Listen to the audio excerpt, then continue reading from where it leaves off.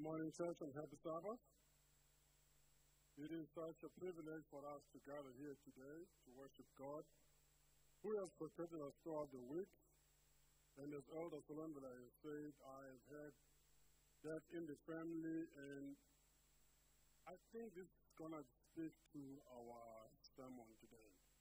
Because the devil is at war, and I think he has his own agenda as to what was supposed to happen. But we like to praise God who has actually been able to protect us and bring us together to this wonderful day. Now, uh, I'll read the, the quotation that I have. Says, It is our duty to have in our heart God's burden to our, for our neighbors, both physically and spiritually. As Christian followers of Jesus Christ, we have to show the close relationship between our faith and our works. Highlight the relationship between our faith and our works. There are many who err and who feel their shame and their folly. They look upon their mistakes, errors, and errors until they are driven almost to desperation. These souls are not to neglect. When one has to swim against the stream, there is all the force of the current driving him back. Let a helping hand be held unto him as we, the elder brothers, hands to the sinking Peter, referring to Peter when he was sinking on the ocean. Speak to him hopeful words, words that will establish confidence and awaken love. Thy brother, sick spirit, needs thee as thou thyself hast needed a brother's love. He needs the experience of one who has been as weak as he, one who can sympathize with him and help him. The knowledge of our own weakness should help us to help one another in his bitter, in his bitter need. Christ Object Lessons, page 387. The Bible records instances where the church is portrayed as being at war. Now, I'd like us to think of it in the physical realm. Any nation that goes to war prepares its soldiers by training its soldiers. These soldiers are trained war techniques, and part of those techniques that the soldiers require is that they must be physically fit, and the soldiers prepare for war before going to fight. However, as part of the preparation of the troops, the troops are trained to be prepared for casualty. In other words, there are instances where the troops might find themselves injured, and they have to find a way to take care of one another. At times, it might take two soldiers to carry their comrades on their shoulders. And as these soldiers carry their comrades on their shoulders, the injured responds by putting his arms around his comrades who are lifting him. And whilst they are doing this, the other comrades are there to protect and make sure that the injured comrade doesn't get injured again. So note, the injured soldier is being helped by his comrades, but he has to cooperate also. But then there are certain instances where the injured soldier might be badly injured to a certain to a point whereby he is not capable of even putting his hands around his soldiers. The soldiers, his comrades might put him on a stretcher and they will carry their wounded friend. This I might be broken, broken, or I mean, bleeding with broken bones. So as they carry him again, the other soldiers are protecting just in case this soldier is attacked one more time. So there is need for more soldiers to carry because of the extent of the injury. Those were my fellow preachers for the day. Lessons to be learned of, of, of assisting soldiers. As I said, we are a group of people that are at war.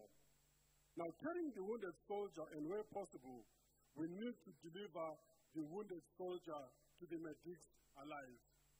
So the one that carries the wounded soldier, their aim is not to protect themselves, but to protect the wounded soldier. So the, the, the one who is assisting is not worried about preserving their lives, but this time to preserve the life of the wounded soldier.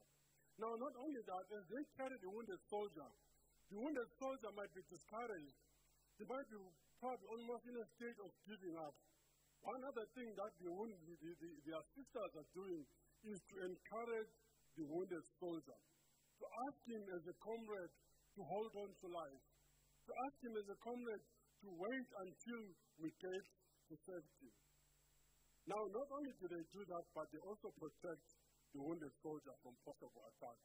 Because remember, the enemy, once they realize that one of them is injured, that's when they even attack more. Because they realize that the other one is fragile.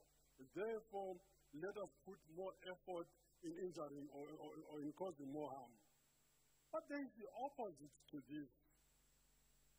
The opposite is that when you are carrying the wounded soldier, you are not to blame the wounded soldier. The soldier got wounded because they were at war. The soldier got wounded because they were defending their country. They are defending their legacy. So therefore, when you are carrying, when the other ones are carrying him, they are not going to blame the wounded soldier. They are not going to say to the wounded soldier, why did you go to the hot part? Why did you do such a stupid thing? They are to encourage the wounded soldier. Not only that, they are not to claim victory for helping their comrade. In other words, they are carrying the wounded soldier. It's not about them, it's about the wounded soldier. So this wounded comrade has to be put to safety. Therefore, as the one who's, who's carrying them, you are not to claim victory.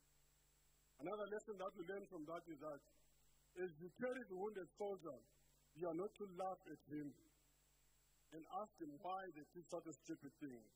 But we are going to say to the wounded soldier, be of courage. You are going to make it. I'd like us to look at two scriptures before we break this further down. I'd like us to look at two scriptures. The first one is going to read Ephesians chapter 6, verse 12. Yes, you probably thought about that. What does Paul say when he talks about our situation Ephesians 6, and we are going to read verse 12. And it reads that, For we wrestle not against flesh and blood, but against principalities, against powers, against the rulers of darkness and of this world, against spiritual wickedness in high places. So we are at war and we are wrestling against spiritual. So being at war for a soldier, they have to be aware who they are fighting. So in other words, if you don't understand your enemy, if you don't know your enemy, you might be defeated.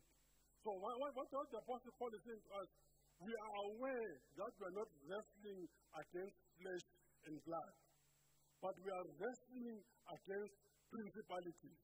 And I want us to understand why is the devil so much interested in winning this war? Why is the devil so much interested in fighting and making us concentrate in the wounded soldier? For those of us who like sermon titles, you can call this one Love in Action Dash Wounded Soldier.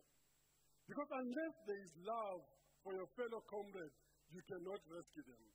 Unless there is caring for your, for, for your fellow comrades, you cannot bother about them. But when you care about your comrades, then you can carry them. Now, we are at war with the devil, and during this spiritual war, some of us are going to get wounded. This is not a threat, but it's a fact. Some of us are going to get wounded during this war. Please know that it may take two or four soldiers to carry the wounded soldier to safety. The rest of the troops are not to give up fighting because one of us has been wounded. Now, we are at war and God has asked us to go out there and tell the world. We have to go out there and preach. And in order for us to be effective in preaching, whilst we are preaching, the devil is going to attack us. And when the devil attacks us, when we are wounded, some of us might have to withdraw from the front, from the war front, and take care of the wounded soldier. Now, talk to me, come with me to this. 2019 has been a difficult year for some of us. While fighting wars, we have been wounded and we have had to withdraw from the fight. It's not a reason to give up. Once a wounded soldier has been healed, they need to go back to war. What am I saying? During our, your, your, your spiritual journey this year, probably you find your name going through the church board because it was something that had to be discussed. And when your name was finally discussed, we, it got to a point where two or four other soldiers, fellow Christians, had to carry you.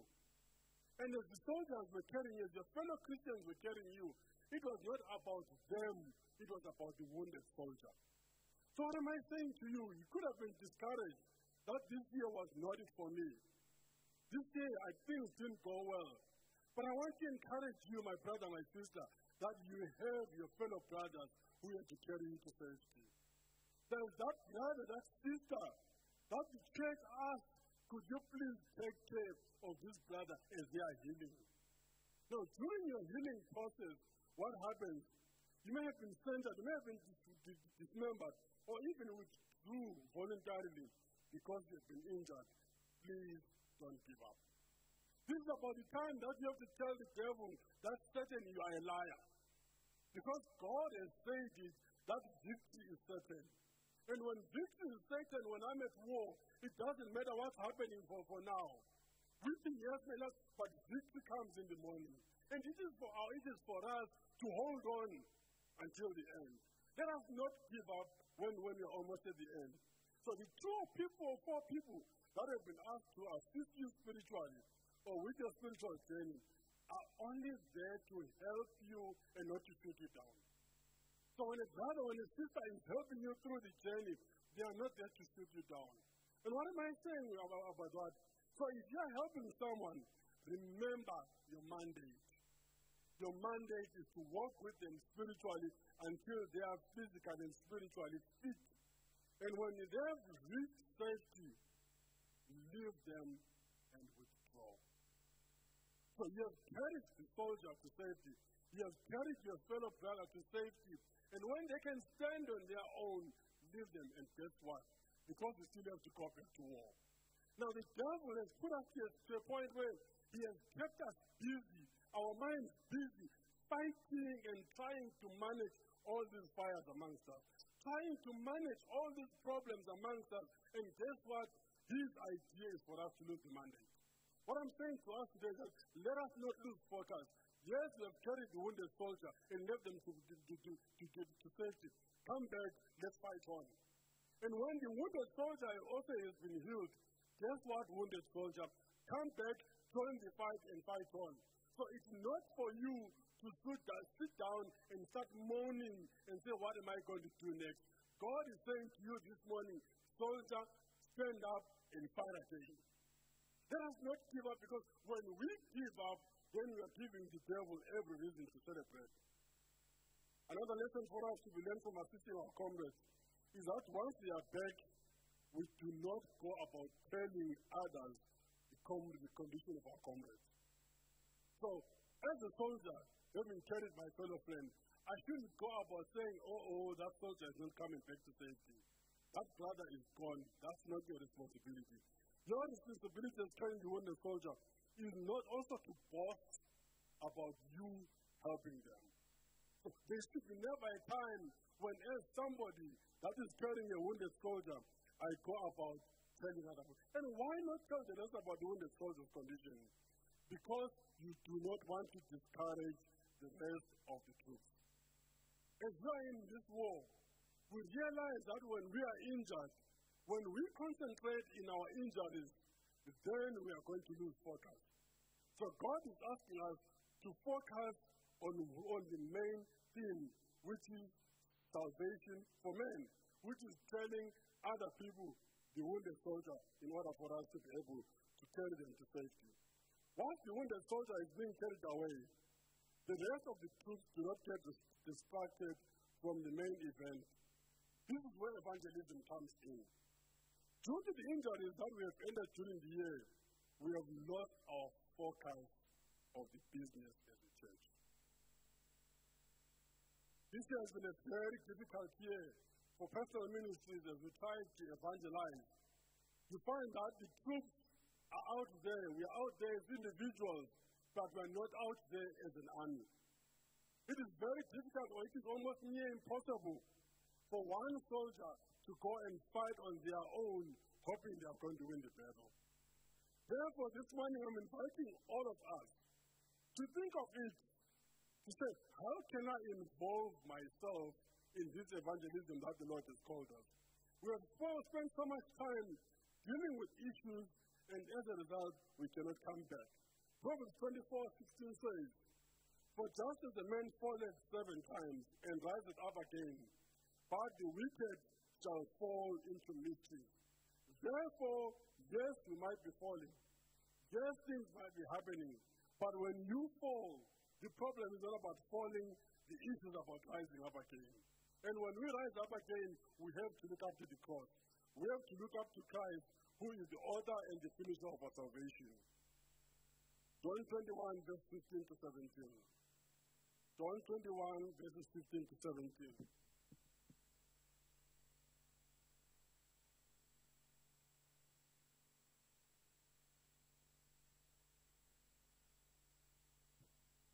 So Christ is talking to Peter, and I'd like us to read this, and you'll understand where we're coming from because of the wounded soldier.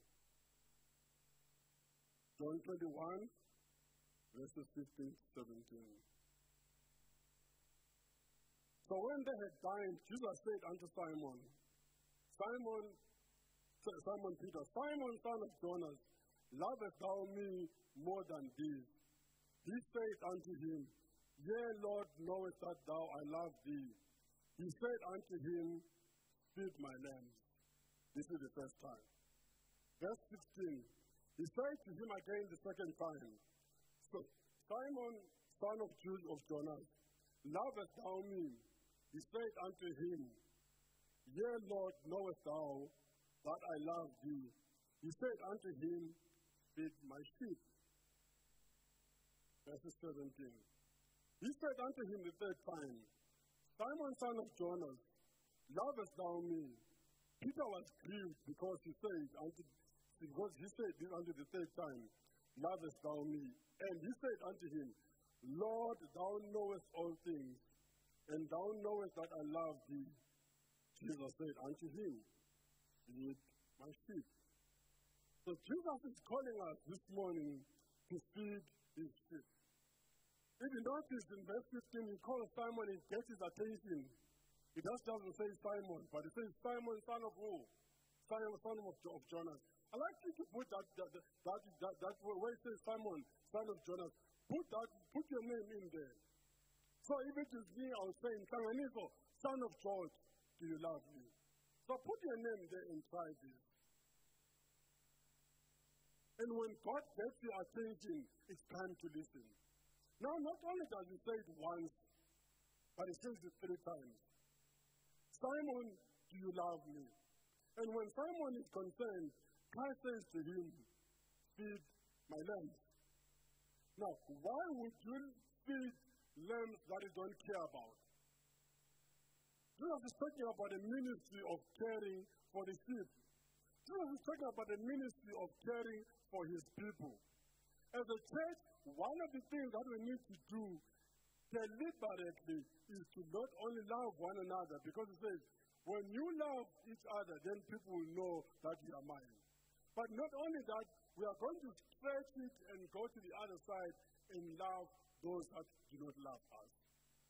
When Christ says, feed my sheep, in other words, he says, care for my sheep. When you feed somebody, when you feed something, you are concerned about their development. You are concerned about their nurturing. When you have nurtured them, therefore they can stand on their own. Hence Christ says to Simon, Simon Peter, do you love me? And when he says, Lord, I love you, feed my sheep. Then he says it for the second time, Simon, son of Jonas, verse 16, lovest thou me? And he said, Yea, Lord, knowest thou that I love thee. Yes, you might be thinking that by coming to church, by being here every Sabbath, we love the Lord. But Christ wants to put us a step further. He says, Yes, I realize you coming here, but this is not enough. This is not enough. You cannot say that you love me by coming alone and leaving my sheep to die out there. It is our responsibility to go out there and tell the world. We need to tell the world that Jesus loves them. We need to tell the world that Jesus is coming soon, and we tell them because we love them. Now, Jesus asked Peter three times if he loved him, and then a command was given. So it's first, so it's love first, and then a command. So Jesus says, Do you love me? Now let's break this down. So Jesus is saying to you and me today, Do you have a relationship with me? In other words, have you given your life to me in such a way that when you love me, when you have a relationship with me as your Savior, then when a command comes to say, feed my sheep, you understand it. So, in other words, if we do not understand, we do not see the, the importance of feeding Christ's sheep, is because we do not love Jesus. This is what the thing is. We sit here today and do nothing about it. It's because we do not love God. Because He's saying to you and me today, if you love me, what should you do? If you love me, what should you do? Feed my sheep.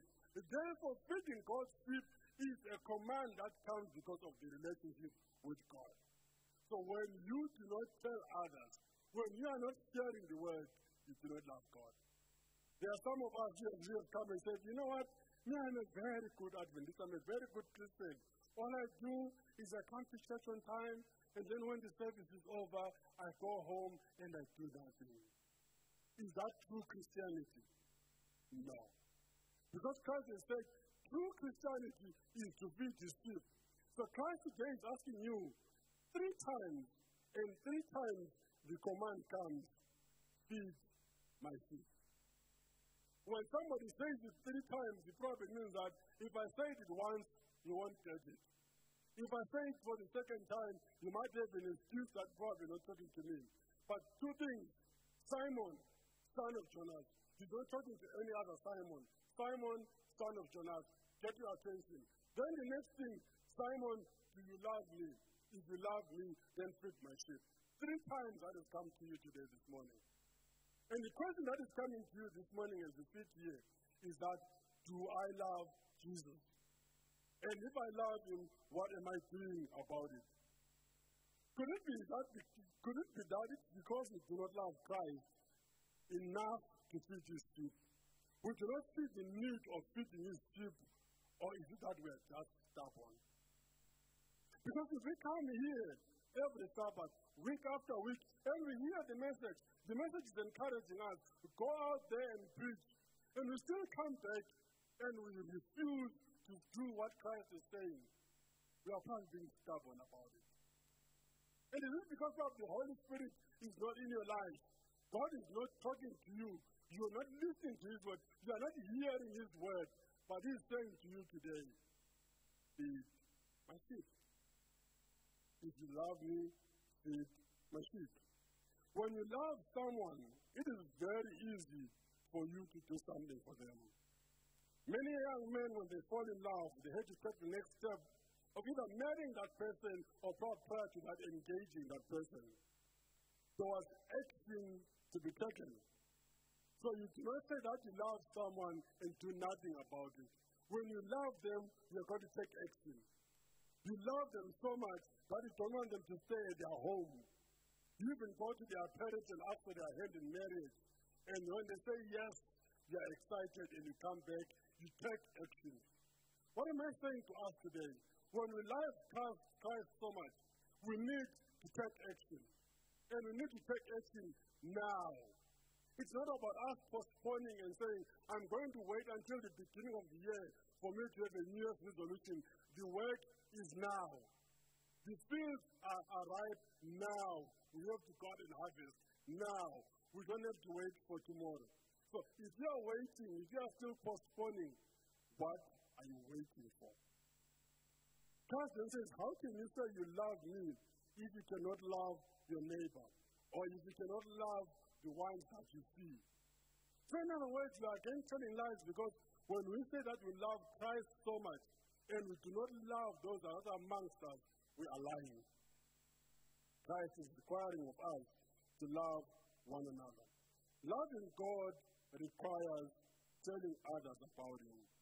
We cannot lose focus because of the wounded soldier. So as we are going ahead, as we are in this fight, and we see all this is happening, we cannot lose, we cannot afford to lose focus. Even you, the wounded soldier, you cannot lose focus.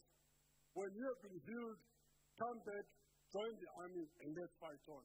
We have to carry on, brothers, because the end is near. We have to carry on, brothers and sisters, so that we can win this war because we know that victory is certain.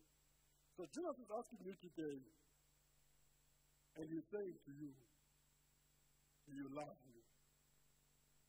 If you want to make that decision for loving God, we need to rethink where we are going on our Christian journey.